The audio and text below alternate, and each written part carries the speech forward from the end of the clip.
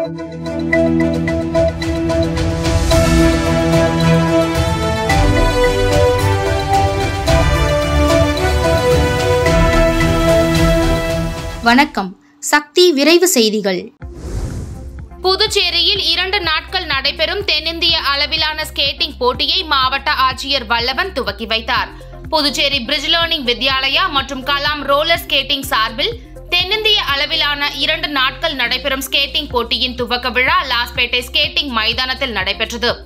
Bridges learning Vidyalaya பள்ளியின் முதல்வர் புவனா வாசுதேவன் தலைமையில் நடைபெற்ற விழாவில் சிறப்பு அழைப்பாளராக மாவட்ட ஆட்சியர் வல்லவன் கலந்து கொண்டு கொடியசைத்து போட்டியை துவக்கி வைத்தார். பல்வேறு வயதினருக்கு நடைபெற்ற போட்டியில் ஆண் பெண் என இரு பாலருக்கும் தனித்தனியே நடைபெற்றது. புதுச்சேரி தமிழகம் கர்நாடகம் ஆகிய மாநிலங்களில் இருந்து சுமார் ஐநூறுக்கும் மேற்பட்ட ஸ்கேட்டிங் மாணவர்கள் கலந்து கொண்டு தங்களின் திறமைகளை வெளிக்காட்டினர். இப்போட்டிக்கான ஏற்பாடுகளை கிளப்பின் செயலாளர் காமேஸ்வரன் மற்றும் தலைவர் வெங்கடேசன் செய்திருந்தனர். சுதந்திர போராட்ட தியாகிகளை இழிவுபடுத்தி வரும் லெட்டர் பேடு அமைப்புகளை தடை செய்ய வலியுறுத்தி பாரதிய ஜனதா கட்சி சார்பில் கண்டன ஆர்ப்பாட்டம் காமராஜர் சிலை அருகே நடைபெற்றது. மாநில தலைவர் சாமிநாதன் தலைமையில் நடைபெற்ற ஆர்ப்பாட்டத்தில் இந்து முன்னணி தலைவர் சனில்குமார் செயலாளர் முருகையன் எம்எல்ஏக்கள் வி பி ராமலிங்கம் வெங்கடேசன் அசோக் பாபு உட்பட ஐம்பதிற்கும் மேற்பட்ட பாரதிய ஜனதா கட்சியினர் கலந்து கொண்டு கோரிக்கைகளை வலியுறுத்தி கண்டன கோஷங்களை எழுப்பினர். புதுச்சேரி காங்கிரஸ் கட்சி சார்பில் அகில இந்திய காங்கிரஸ் கட்சியின் தலைவர் சோனியா காந்தி மற்றும் ராகுல் காந்தி மீது போடப்பட்டுள்ள நேஷனல் ஹெரால்ட் வழக்கு குறித்த விளக்கக் கூட்டம் மற்றும் மத்திய அரசுக்கு எதிரான போராட்டங்களை முன்னெடுப்பது குறித்தான விளக்கக் கூட்டம் லபோத் வீதியில் உள்ள தனியார் அரங்கத்தில் நடைபெற்றது.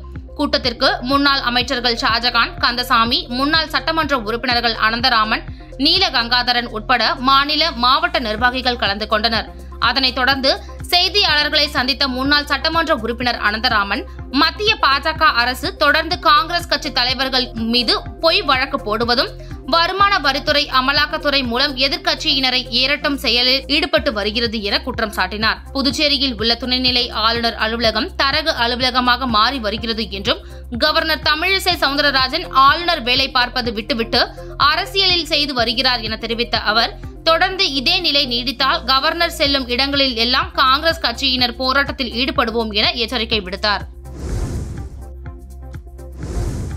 புதுச்சேரி சைல்ட் லைன் அமைப்பு சார்பில் தேசிய மனித கடத்தல் மற்றும் குழந்தைகளுக்கு எதிரான வன்கொடுமை தினத்தை முன்னிட்டு விழிப்புணர்வு பிரச்சாரத்தின் துவக்க விழா அண்ணா சிலை அருகே நடைபெற்றது. இந்நிகழ்ச்சியில் சிறப்பு விருந்தினராக குழந்தைகள் நலக்குழும அவைத்தலைவர் சிவகாமி சைல்ட் லைன் திட்ட இயக்குநர் ஜோசப் அருமை செல்வம் காவல்துறை ஆய்வாளர்கள் கார்த்திகேயன் செந்தில் சட்ட அதிகாரி ஜெகதீஷ் ஆகியோர் கலந்து கொண்டு கொடியசைத்து விழிப்புணர்வு பிரச்சாரத்தை துவக்கி வைத்தனர். இதில் திரளான மாணவர்கள் கலந்து கொண்டு மௌன ஊர்வலம் சென்றனர். நிகழ்ச்சிக்கான ஏற்பாடுகளை சைல்ட் லைன் நிர்வாகிகள் மற்றும் ஊழியர்கள் செய்திருந்தனர். புதுச்சேரியில் ஐந்து பெண்களை ஏமாற்றி மோசடி செய்த கல்யாணராமன் மீது புதுச்சேரி மகளிர் காவல் நிலையத்தில் பாதிக்கப்பட்ட நான்காவது மனைவி புகார் அளித்துள்ளார். கடலூர் மாவட்டம் மேலக்குப்பம் பிள்ளையார் கோவில் பகுதியைச் சேர்ந்த காயத்ரி என்பவர் புதுச்சேரி அனைத்து மகளிர் காவல் நிலையத்தில் புகார் தெரிவித்துள்ளார். அரியாங்குப்பத்தை சேர்ந்த சீனு என்கிற தெய்வ நாயகம் அவருடைய தாயார் வசந்தா ஆகிய இருவரும் காயத்ரி வீட்டிற்கு பெண் கேட்டு வந்தனர். அப்பொழுது உறவினர்கள் மற்றும் ஊர் பெரியவர்கள் பெண் கொடுக்க சம்மதித்தனர். தொடர்ந்து கடந்த வருடம் ஜூலை மாதம் இருபத்தி ஏழாம் தேதி அன்று நிச்சயதார்த்தம் நடைபெற்றது. இருபத்தி ஒன்று எட்டு இரண்டாயிரத்தி இருபது அன்று புதுச்சேரி பிருந்தாவனத்தில் உள்ள பிள்ளையார் கோவிலில் இரு வீட்டார் முன்னிலையில் திருமணம் நடைபெற்றது. அப்பொழுது கொரோனா ஊரடங்கு என்பதால் மண்டபத்தில் வரவேற்பு நிகழ்ச்சி வைக்க முடியவில்லை. அவரை திருமணம் செய்து கொள்வதற்காக வரதட்சணையாக ஆறு பவுண்ட் தங்க நகை இரண்டு சக்கர வண்டி பீரோ கட்டில் வழங்கப்பட்டது. மூன்று மாதங்கள் இருவரும் ஒன்றாக வாழ்ந்தனர். இந்நிலையில் மூன்று மாதங்கள் கடந்த நிலையில் காயத்ரியிடம் தினம்தோறும் தகராறு செய்து அடித்து துன்புறுத்தி வந்தார். அதிக பணம் வேண்டும் அதிக நகை வேண்டும் என்றார். இது குறித்து காயத்ரி தன் தாயிடம் தகவல் தெரிவித்தார். உடனடியாக காயத்ரியின் தாயார் மாமியார் வீட்டிற்கு வந்து அவர்களிடம் பேசி காயத்ரியை தன் வீட்டிற்கு அழைத்து சென்றார். அப்பொழுது காயத்ரி மூன்று மாதம் கர்ப்பிணியாக இருந்தார். தாய் வீட்டிற்கு வந்த பிறகு கணவர் என்னை வீட்டிற்கு வந்து பார்க்கவும் இல்லை. பேசவும் இல்லை. அதனால் காயத்ரி ஏன் இவ்வாறு செய்கிறாய்? என்று கேட்டதற்கு நீ எனக்கு மனைவியே இல்லை என்று உதாசீனப்படுத்தினார். கணவர் பேசாமல் இருப்பதற்கு என்ன காரணம் என்று கண்டுபிடிக்க அவரை பற்றி விசாரித்த பொழுது அவருக்கு ஏற்கனவே மூன்று மனைவிகள் உள்ளது தெரிய வந்தது. அதில் முதல் மனைவி அனிதா என்கிற இந்திரகுமாரி இரண்டாவது மனைவி தேவி அரியாங்குப்பத்திலும் மூன்றாவது மனைவி கனகவல்லி என்பவர்களை திருமணம் செய்துள்ளது என்றும் தெரியவந்தது தன்னை நான்காவதாக திருமணம் செய்துள்ளது தெரிய வந்தது. தொடர்ந்து காயத்ரி பிரசவத்திற்காக புதுச்சேரி மருத்துவமனையில் அனுமதிக்கப்பட்ட பொழுது புதுச்சேரி வம்பாக் ஈரப்பாளையம் பகுதியை சேர்ந்த பிரேமா என்கிற பிரபாவதி என்பவரை ஐந்தாவதாக திருமணம் செய்துள்ளது தெரிய வந்தது. காயத்ரியை திருமணம் செய்யும் பொழுது முதல் மனைவியுமான அனிதா என்கிற இந்திரகுமாரி என்பவருக்கும் தனக்கும் திருமணம் ஆகி பிரிவு ஏற்பட்டு விவாகரத்து பெறப்பட்டது என்று கூறி திருமணம் செய்துள்ளார். ஆனால் இருவருக்கும் விவாகரத்து ஆகவில்லை. தொடர்ந்து ஐந்து பெண்களை ஏமாற்றி திருமணம் செய்தது குறித்து காயத்ரி கேட்டபொழுது அடியாட்களை வைத்து அடிக்கவும் கொலை செய்யவும் திட்டம் போட்டு உள்ளார் என்பது தெரிய வந்துள்ளது. தொடர்ந்து பல பெண்களை இவ்வாறு மோசடி செய்து திருமணம் செய்து வருகிறார். மேலும் இவர் மீது மூன்று லாட்டரி சீட்டுகள் விற்பனை சம்பந்தமாக வழக்குகளும் நிலுவையில் உள்ளது. காயத்ரிக்கும் சீனு என்கிற தெய்வ நாயகத்திற்கும் இரண்டு வயதில் பெண் குழந்தை உள்ளது என்பது குறிப்பிடத்தக்கது. கிளியனூர் அருகே முன்விரோத தகராறில் முதியவர் அடித்து கொலை ஒருவர் கைது. விழுப்புரம் மாவட்டம் வானூர் கிளியனூர் காமராஜர் நகரை சேர்ந்தவர் ராமலிங்கம் கூலி தொழிலாளி இவருக்கும் கிளியனூர் இருளர் குடியிருப்பை சேர்ந்த பாலு கூலி தொழிலாளி இவருக்கும் சில மாதங்களுக்கு முன்னர் பாலுவின் மனைவியை தவறாக பார்த்ததாகவும் அவரை திட்டியதாகவும் கூறப்படுகிறது. இந்நிலையில் பாலு முதியவரிடம் தகராறு செய்தார். இந்நிலையில் கடந்த சில நாட்களுக்கு முன்னர் குடிபோதையில் பாலு முதியவரை சராமரியாக அடித்து தாக்கியுள்ளார். இதில் நிலை தடுமாறி கீழே விழுந்துள்ளார். அருகில் இருந்தவர்கள் அவரை மீட்டு புதுச்சேரி ஜிப்மர் மருத்துவமனைக்கு சிகிச்சைக்காக அனுப்பி வைத்தனர். ஆனால் அங்கு அவர் சிகிச்சை பலனின்றி உயிரிழந்தார். இது குறித்து கிளியனூர் போலீசார் வழக்கு பதிவு செய்து கொலை செய்த பாலுவை கைது செய்து சிறையில் அடைத்தனர். மேலும் முதியவரை அடித்து கொலை செய்த சம்பவம் அப்பகுதியில் பெரும் பரபரப்பை ஏற்படுத்தியுள்ளது. விழுப்புரம் மாவட்டம் மரக்காணம் மாரியம்மன் கோவில் தெரு பகுதியை சேர்ந்தவர் செல்வராஜ். இவரது மகன் குமரேசன். இவர் மரக்காணம் வட்டாட்சியர் அலுவலகம் எதிரில் தங்க நகைக்கடை வைத்துள்ளார். இவரது கடைக்கு கடந்த இரண்டு நாட்களுக்கு முன் பர்தா அணிந்து கொண்டு அடையாளம் தெரியாத பெண் ஒருவர் வந்துள்ளார். அந்த பெண் மூன்று பழைய செயின்களை எடுத்துக்கொண்டு அதற்கு பதிலாக புதிய நகைகள் வேண்டும் என்று நகைக்கடைக்காரர் குமரேசனிடம் கேட்டுள்ளார். அப்போது குமரேசன் அந்த நகைகளை சோதனை செய்து பார்த்துள்ளார். அப்போது அந்த நகைகள் போலியானவை என்று அவர்களால் கண்டுபிடிக்க முடியவில்லை. எனவே குமரேசன் பெண் எடுத்து வந்த நகைகளை எடை போட்டு பார்த்துள்ளார். அப்போது அந்த நகைகளின் எடை நூற்றி ஓரு கிராம் இருந்துள்ளது. இந்த நூற்றி ஒரு கிராம் பழைய நகைகளை எடுத்துக்கொண்டு நகைக்கடைக்காரர் செய்கூலி சேதாரம் உள்ளிட்டவைகள் போக அதற்கு பதிலாக புதிய தங்க நகைகளை கொடுத்துள்ளார். இந்த நகைகளை வாங்கிய பர்தா அணிந்து வந்த அடையாளம் தெரியாத பெண் அங்கிருந்து அவசரமாக கிளம்பி சென்றுள்ளார். இந்நிலையில் நேற்று மீண்டும் அந்த நகைகளை குமரேசன் ரசாயன முறையில் பரிசோதனை செய்துள்ளார். இந்த பரிசோதனையில் அந்த பெண் கொடுத்த நூற்றி ஒரு கிராம் நகைகளும் போலியான கவரிங் நகைகள் என்று தெரிய வந்துள்ளது. இதனை பார்த்து அதிர்ச்சி அடைந்த நகைக்கடைக்காரர் இது குறித்து மரக்காணம் காவல் நிலையத்தில் புகார் கொடுத்துள்ளார்.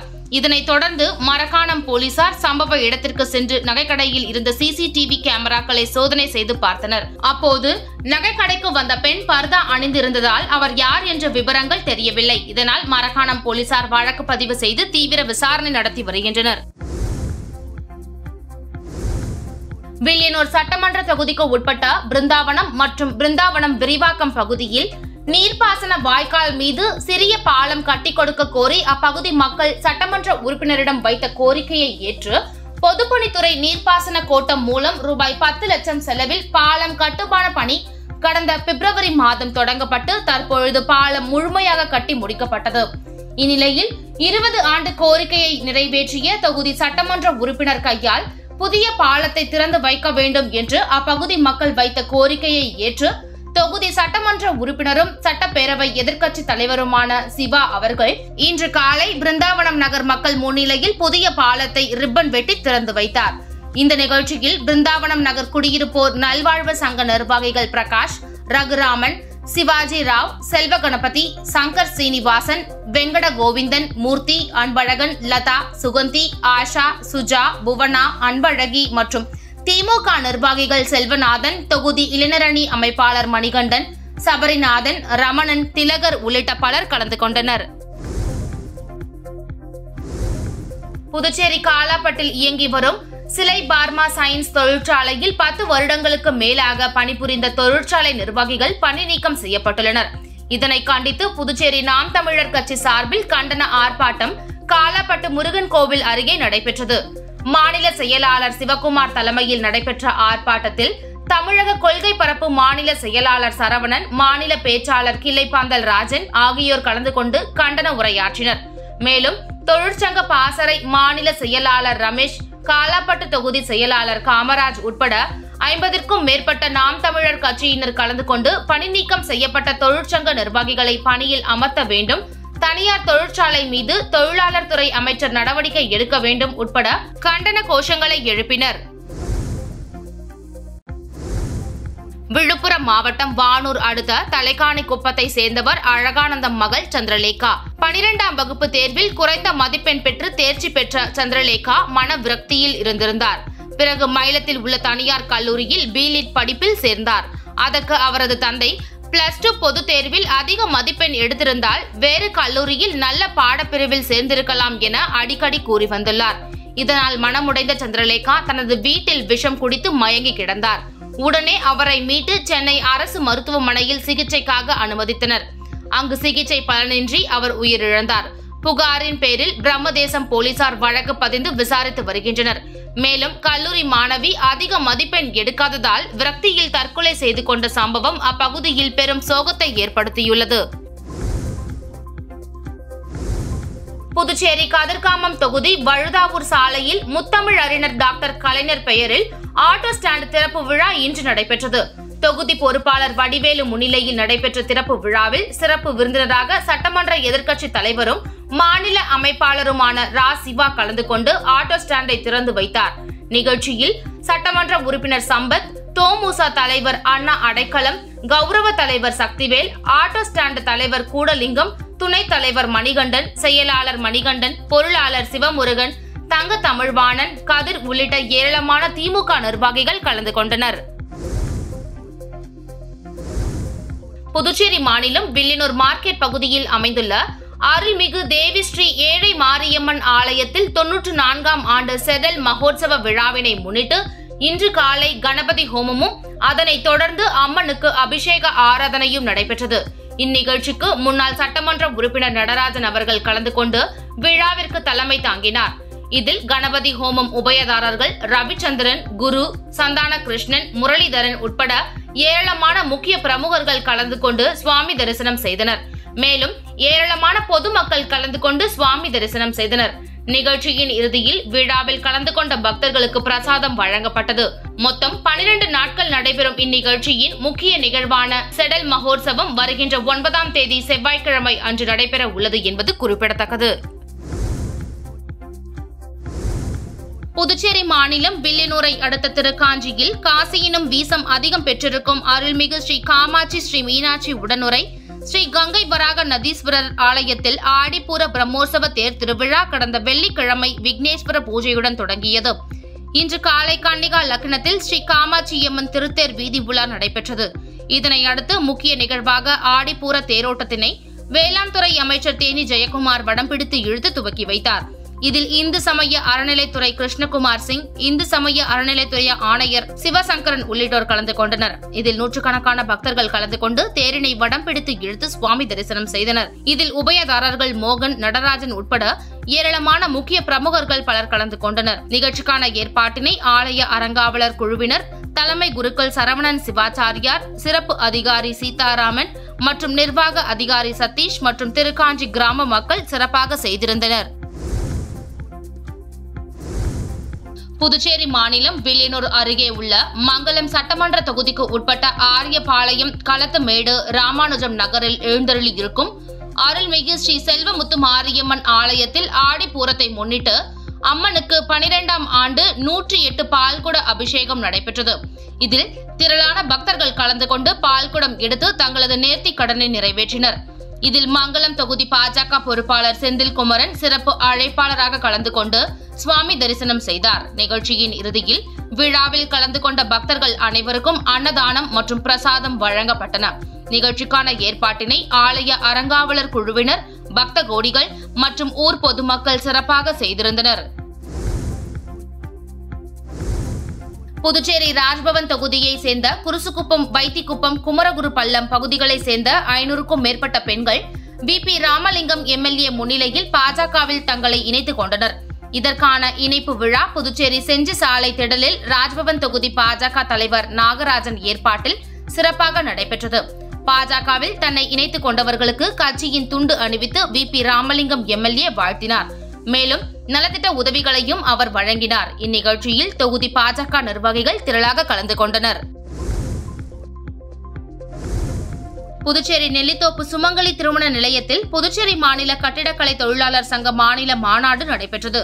சங்க தலைவர் ஐயம் பெருமாள் தலைமையில் நடைபெற்ற மாநாட்டில் ஏஐடியூசி மாநில தலைவர் தினேஷ் பொன்னையா செயல் தலைவர் அபிஷேகம் மாநில பொதுச் செயலாளர் சேது செல்வம் பொதுச் செயலாளர் சந்திரசேகரன் உட்பட நிர்வாகிகள் முன்னிலை வகித்தனர்.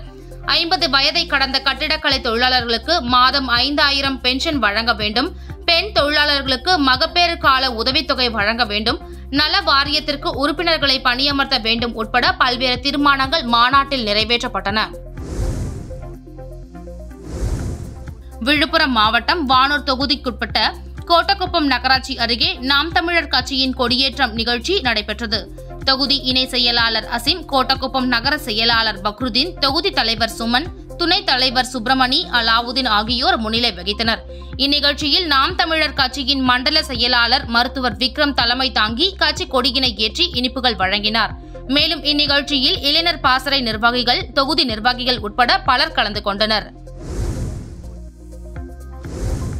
புதுச்சேரி மாநிலம் மங்களம் சட்டமன்ற தொகுதியில் தூய்மை இந்தியா திட்டத்தின் கீழ் மங்களம் பாஜக தொகுதி பொறுப்பாளர் செந்தில்குமரன் தலைமையில் வாரம் தோறும் விடுமுறை நாளான ஞாயிற்றுக்கிழமை அன்று தூய்மை இந்தியா திட்டத்தின் கீழ் துப்புரவு பணி நடைபெற்று வருகிறது. அதன் ஒரு பகுதியாக மங்களம் சட்டமன்ற தொகுதி கணுவாய்பேட்டை மூன்றாவது வன்னியர் வீதியில் கழிவுநீர் வாய்க்கால் மரம் செடி புதர்கள் ஆகியவற்றை வெட்டி தூய்மைப்படுத்தி சுத்தம் செய்யும் பணி நடைபெற்றது.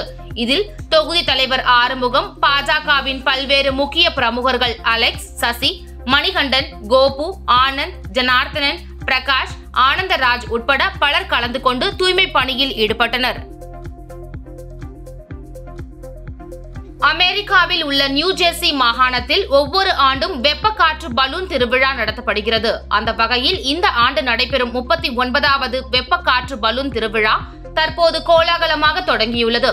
இந்த திருவிழாவில் வெப்ப காற்று மூலம் வானில் பறக்கும் பல வண்ண பலூன்கள் காண்போரின் கண்களை கவர்கின்றன.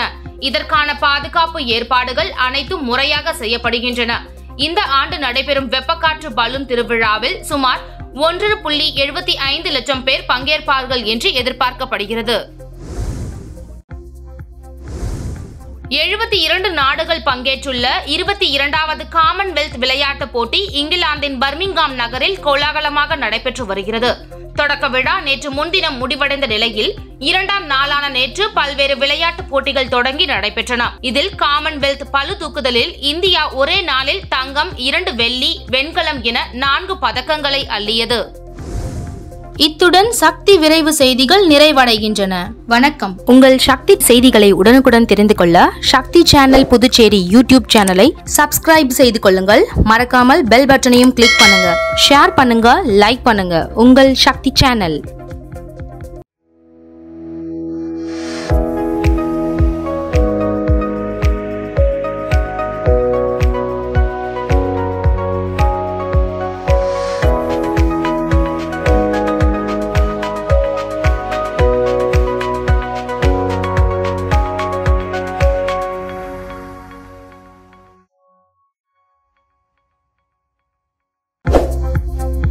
உங்கள் சக்தி செய்திகளை உடனுக்குடன் தெரிந்து கொள்ள சக்தி சேனல் புதுச்சேரி யூடியூப் சேனலை சப்ஸ்கிரைப் செய்து கொள்ளுங்கள். மறக்காமல் பெல் பட்டனையும் கிளிக் பண்ணுங்க.